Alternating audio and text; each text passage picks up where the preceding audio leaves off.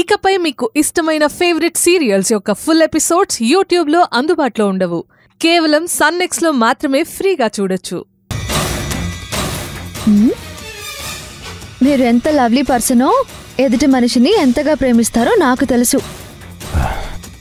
Sorry Sravanthi ఆ రోజు ఎందుకో కోపం ఆగలేదు. ఇట్స్ ఆల్ రైట్ రిషి ఆవిడ సరిగ్గా గమనించుంటే మీ క్యారెక్టర్ ఏంటో ఆవిడకి తెలిసేది.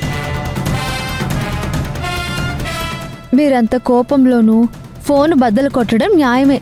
ధర్మం తప్పలేదు. ఆవిడ ఫోన్ ఖరీదుకు రెట్టింపు మనీ ఇచ్చారు.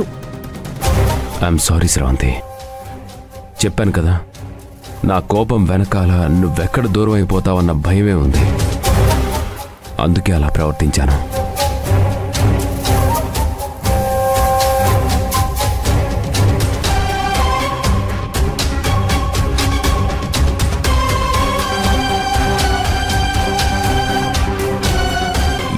ఈ స్రవంతిని వదిలిపెట్టడం లేదు. ఈరోజు ఇలా చెప్పింది ఇంకోసారి ఏదైనా చెప్పచ్చు.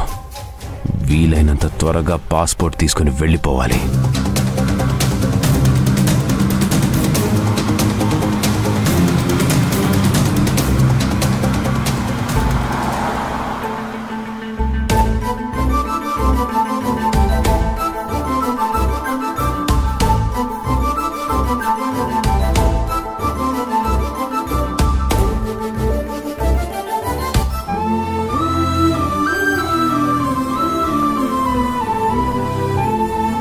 ప్లేస్ ఎలా ఉంది శ్రవంతి? బ్యూటిఫుల్ ప్లేస్ రిషి చూస్తుంటేనే నాకు మతిపోతుంది. దీన్ని హనుమాన్ డోకా అంటారు. ఇది నేపాల్ వాళ్ళ ట్రెడిషనల్ ఆర్కిటెక్చర్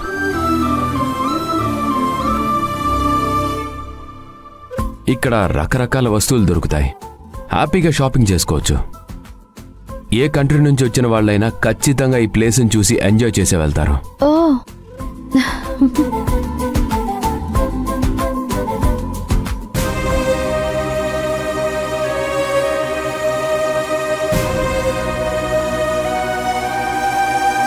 ఏమైంది శ్రావంతి? ఇంద్రధనస్సులాగా నీ మొహంలో అన్ని రంగులు ఒకేసారి కనపడుతున్నాయి? కొద్ది క్షణాలు నీ కళ్ళల్లో ఆనందం మెరిసిన మరుక్షణం ఆ కళ్ళల్లో మెరుపు లేదు మొహంలో సంతోషం లేదు. ఏమైంది? అది కాదు ఋషి. ఈరోజు నాన్నతో మాట్లాడాలని ఉంది ఉదయం నుండి నాన్న గుర్తుకొస్తున్నారు. రోజులా ఈరోజు నాన్న కల్లా దూరంగా ఉండలేకపోతున్నాను. కానీ ఏంటో అర్థం కావడం లేదు. అట్లీస్ట్ నాన్నకి నా తరపున బొకే అయినా పంపాలని ఉంది. బొకే పంపుతావా? అయినా ఈరోజు స్పెషల్ ఏంటి? ఈ రోజు నాన్న బర్త్డే. నేను పుట్టిన తర్వాత నేను నాన్న దగ్గర లేకుండా జరుపుకుంటున్న ఫస్ట్ బర్త్డే. అందుకే తనకి ఫోన్ చేసి విషెస్ చెప్పాలనుకుంటున్నాను. అది కుదరదని నాకు తెలుసు రిషి. అందుకే బొకే అయినా పంపించాలనుంది. స్రవంతి ఎన్నిసార్లు చెప్పినా మళ్ళీ మొదటికి వస్తావేంటి మనం ఎక్కడున్నామో మీ నాన్నకి తెలియకూడదనే కదా. ఇన్ని జాగ్రత్తలు తీసుకుంటున్నాం. ఇప్పుడు నువ్వు బొకే పంపిస్తే మనం ఎక్కడున్నామో ఆయనకి తెలిసిపోతుంది కదా.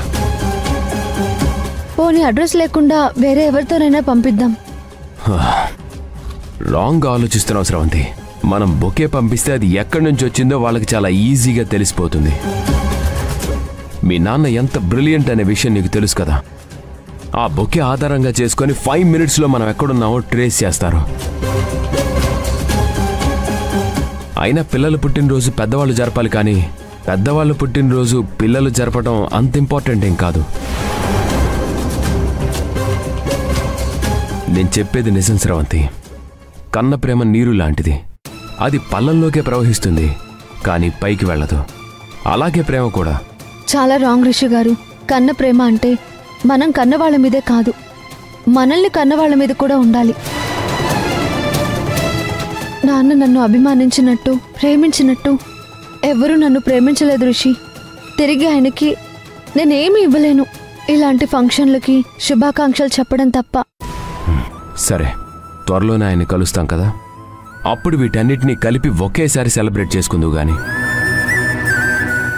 ఇంత బ్యూటిఫుల్ ప్లేస్లో నువ్వు బాధపడుతూ ఉండడం నాకే బాధేస్తుంది. కేవలం మన చుట్టూ ఉన్న ప్లేస్లే మనకి సంతోషాన్ని ఇస్తాయంటే ఇక్కడున్న వాళ్ళు ఎప్పుడూ సంతోషంగా ఉండాలిగా? రిషి సంతోషం అనేది మనసుకు సంబంధించింది. అక్కడ సంతోషంగా ఉంటే ఎక్కడున్నా సంతోషంగానే ఉంటాం. అంటే నువ్వు నాతో సంతోషంగా లేవా? ఉన్నాను రిషి. కానీ నాన్న లేడు అని ఏదో వెళుతు నన్ను కలవర పెడుతూనే ఉంది. ఈరోజు ఆయన బర్త్డే కాబట్టి అది ఇంకా ఎక్కువ అవుతుంది నాకు తెలుసు శ్రవంతి నీ బాధ. నా మీద కోపం వస్తుంది కదూ? లేదు రిషి గారు ఏ మాత్రం అవకాశం ఉన్నా నన్ను ఆనంద పెట్టడానికి చూస్తారని నాకు తెలుసు. అడవిలోకి వెళ్ళి పువ్వులు తెచ్చినప్పుడే మీ ప్రేమేంటో నాకు అర్థమైంది. పుట్టినప్పటి నుంచి ఏ మనిషిని ద్వేషిస్తూ పెరిగానో అదే మనిషిని పదే పదే గుర్తు చేస్తున్నావు స్రవంతి మీ నాన్న గుర్తొచ్చినప్పుడల్లా నాలో రాక్షసుడు బయటకు వస్తున్నాడు. ఇప్పుడు నీకు షాక్ ఇస్తాను చూడు. శ్రవంతి పద. సరే.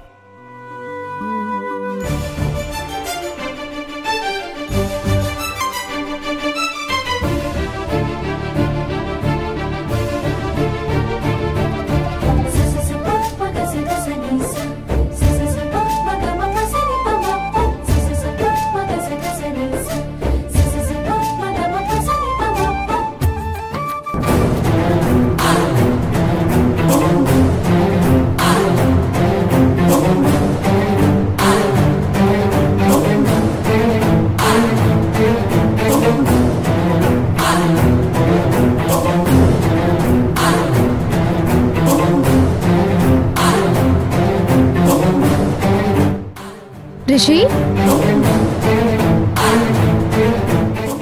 రిషి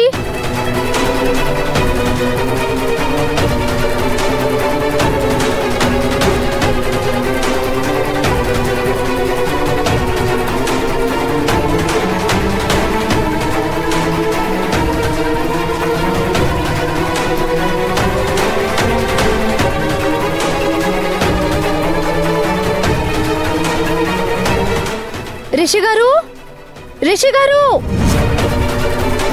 రిషి రిషి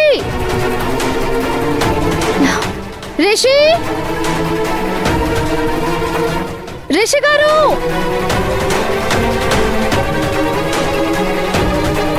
రిషి గారు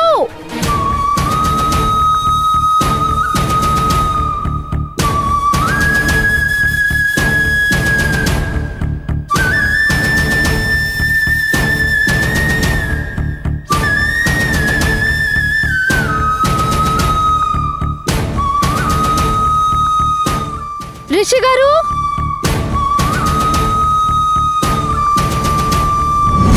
రిషి గారు?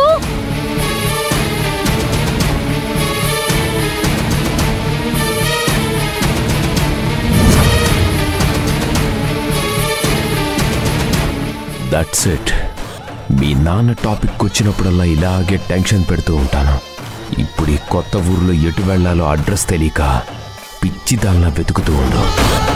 రిషి గారు? రిషి ఎక్కడికి వెళ్ళిపోయావు? ఏమైపోయావు? నాకు భయం వేస్తుంది. రిషి గారు! ఇప్పుడు తలుచుకో మీ నాన్నని. మీ నాన్నే వచ్చి కాపాడతాడు. రిషి గారు! రిషి గారు!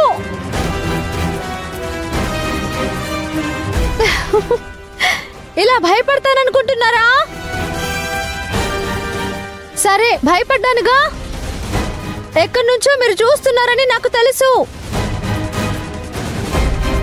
బయటికి రండి సార్. షాపింగ్ చేయాలి. ఏంటిది? అరే టెన్షన్ పడుతుంటే నేను చూడాలని ప్లాన్ చేస్తే? అది టెన్షన్ పడకుండా హైడ్ అండ్ సీక్ డ్రామా అనుకుంటుంది. హలో రిషి గారు! నేను నాన్న టాపిక్ తీసుకొస్తేనే మీకు నచ్చదు.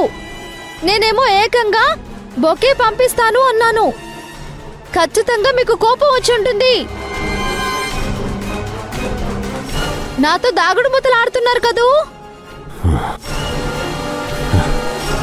పంపించే వీల్లేదు అంటే సరే అన్నాను కదా. ఇంకా కోపం పోలేదా?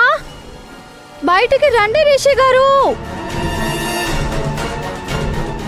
సరే మీరు రాకపోతే మిమ్మల్ని నేనే వెతికి పట్టుకుంటాను. నేను నాన్న దాగుడు మూతలు ఆడేటప్పుడు నేనే గెలిచేదాన్ని. ఆ గేమ్ ఆడి చాలా రోజులైంది. మీ వల్ల మళ్ళీ ఇప్పుడు ఆడుతున్నాను. ఇక్కడ జనం ఎక్కువ మంది ఉన్నారు. అయినా పర్వాలేదు నేనే గెలుస్తాను.